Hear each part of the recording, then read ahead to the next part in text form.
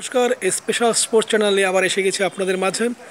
আজকে আমরা প্রথমেই মোহনবাগানের খবর নিয়ে আসব, কারণ মোহনবাগানের খবর কিন্তু বেশ কিছুদিন ধরে দেওয়া হয় না।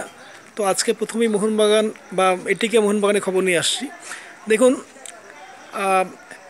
প্রশ্ন হচ্ছে যে বেইতিয়া, ফ্রান বেইতিয়া ও ফ্রান গাঞ্জালেস যে দুজনের হাত ধরে মোহনবাগান এবছর আই লিগ জিতে গেছে, সেই দুজন ফুটবলার কোথায় যাচ্ছে? তো আমরা বিশ্বস্ত সূত্রে জানতে পেরেছি ফ্রান গাঞ্জালেস প্রায় নাইনটি পারসেন্ট শিওর হয়ে গিয়েছিল কেরালা বাস্টারে যাওয়ার জন্য। সেখান থেকে কিন্তু মোহনবাগানের কর্মকর্তারা নিজেরা উদ্যোগ নিয়ে এটিকে সঙ্গে কথা বলে, এটিকে কর্ণধারের সঙ্গে কথা বলে, তারা কিন্তু পাই ফ্রান গঞ্জালেসকে চূড়ান্ত করে ফেলেছে। অর্থাৎ শোনা যাচ্ছে যে এক কোটি ছাপ্পান্ন লাখ টাকায় কিন্তু ফ্রান গঞ্জালেসকে এটিকে মোহনবাগান বা মোহনবাগান এটিকে চুক্তিবদ্ধ করে ফেলেছে। যদিও চুক্তিবদ্ধ এখনও ফ্রান গঞ্জালেস সই করেনি, কেননা করোনা ভাইরাসের কারণে এআইএফএ, আইএফএ সব অফিস বন্ধ থাকায় কিন্তু এই শৈশবাত হচ্ছে না। ফলে কিন্তু এটু নিশ্চিত যে ফ্রান গঞ্জালেস আগামী বছর মোহনবাগান এটিকেতেই খেলছে। এবার প্রশ্ন হচ্ছে, তাহলে ফ্রান বেইতিয়া কোথায় খেলছে? ফ্রান বেইতিয়া কোথায় খেলছে? ফ্রান বেইতিয়া কিন্তু মোহনবাগানকে হয়তো খেলছে না। আমরা বিশ্বস্ত সূত্রে জানতে পেরেছি যে ফ্রান বেইতিয়া তিনি পরিষ্কার বলে দিয়েছেন যে কোচ ভিকুনার হাত ধরেই তিনি মোহনবাগানে এসেছেন, তো কোচ ভিকুনাকে তিনি শ্রদ্ধা করেন এবং কোচ ভিকুনা যেখানে যাবেন তিনি সেখানেই খেলবেন। অর্থাৎ কোচ ভিকুনা যেখানে যাচ্ছে বেইতেও কিন্তু সেখানেই খেলবেন বলে আমরা জানতে পেরেছি।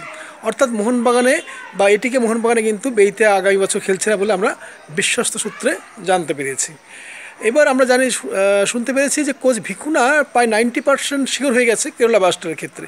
কেরলা বাস্টারের কাছ থেকে প্রায় দু কোটির উপরে একটা চুক্তি হয়েছে ভিকুনার কোচ ভিকুনার সঙ্গে।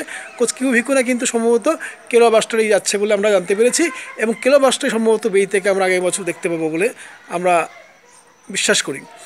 এবার আসি বাবা দেওরের কথা। এই বাবা দেওরা আসার পরেই কিন্তু মোহনবাগানের খেলা ঘুরেছিল। মোহনবাগান কিন্তু দুর্দান্ত খেলেছে এই খেলার পেছনে। যদি কোনো স্ট্রাইকারের অবদান সবথেকে বেশি থাকে, সে হচ্ছে বাবা দিওরা। বাবা দিওরা একের পর এক ম্যাচ গোল করে মোহনবাগানকে আই লিগ নিয়ে এসেছেন। সেই বাবা দিওরাকে কিন্তু মোহনবাগান রাখতে পারছে না। বাবা দিওরাকে, কেননা এটিকেতে ইতিমধ্যেই উইলিয়ামস রয়েছেন। এটিকেতে রয় কৃষ্ণা রয়েছেন। রয় কৃষ্ণা, উইলিয়াম জুটি যেখানে রয়েছেন, সেখানে নতুন করে স্ট্রাইকার আর নেওয়া হবে না বলে আমরা জানতে পেরেছি। আর ফলে বেই ফলে বাবা দিওরা কিন্তু সম্ভবত ইস্টবেঙ্গলে যাচ্ছে বলে আমরা জানতে পেরেছি। কেননা বাবা দিওরাকে ইস্টবেঙ্গল প্রায় দু কোটি টাকার মতো একটা অফার করেছে, যেটা তার কাছে লোভনীয় মনে হয়েছে। এবং তাছাড়া সে যেহেতু ভারতবর্ষে খেলে, ভারতের সংস্কৃতির সঙ্গে সে কিছুটা খাপ খেয়ে নিয়েছে। ফলে তার ইচ্ছে রয়েছে ভারতেই খেলার এবং সেক্ষেত্রে ইস্টবেঙ্গলের অফার তাকে ভাব- ভাবিয়ে তুলেছে। এবং সম্ভবত তিনি কিন্তু ইস্টবেঙ্গলের দেখে ঝুঁকে রয়েছেন বলে আমরা জানতে পেরেছি। যদিও শৈশব এখনও হয়নি এবং তিনি কথা দিয়েছেন ইস্টবেঙ্গল কর্তা কর্মকর্তাদেরকে। যদি ইস্টবেঙ্গল আইএসএলে খেলে, তাহলে সম্ভবত তিনি ইস্টবেঙ্গলেই খেলছেন বলে আমরা জানতে পেরেছি। অর্থাৎ দেখা যাচ্ছে ইস্টবেঙ্গল কিন্তু ধীরে ধীরে তাদের টিমটাকে গুছিয়ে নিচ্ছে। ইস্টবেঙ্গল কিন্তু একটা ভালো শক্তিশালী টিম তৈরি করবে এবছর এবং সেটা যে খুবই ভালো দল হচ্ছে সেটা কিন্তু আমরা বলতে পারি। তো এই ছিল আজকের আপডেট। যদি ভিডিওটি ভালো লাগে, অবশ্যই লাইক করবেন, শেয়ার করবেন এবং চ্যানেলটি সাবস্ক্রাইব করবেন। নমস্কার।